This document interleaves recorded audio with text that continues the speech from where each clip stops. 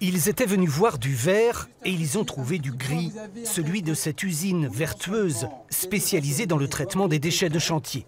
Des résidus brûlés qui produisent de la chaleur et même de l'électricité, de quoi alimenter 8000 logements. C'est-à-dire que ça va tourner tous les jours, 365 jours, euh, tous les jours, euh, samedi, dimanche, les vacances. Aujourd'hui, on, on valorise 95% de ce qui rentre.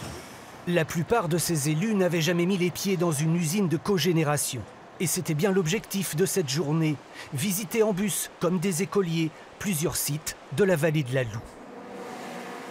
Un jour, un bus, c'est de dire, bah, on constate, on voit les choses. On va parler d'hydroélectricité, on va parler de, méthanisation, on va parler de pollution, on va parler euh, de pr préservation, euh, d'éolien, de solaire, voilà.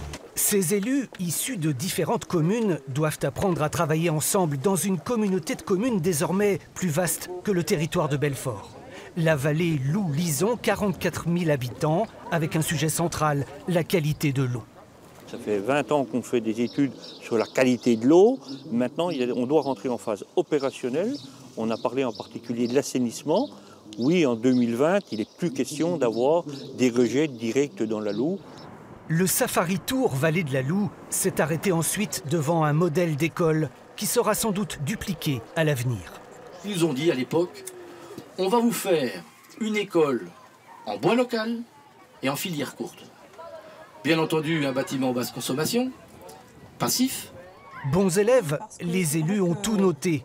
Ils ont deux ans pour rédiger un plan climat-air-énergie, une obligation désormais pour toutes les communautés de communes de France. au périmètre de la nouvelle communauté.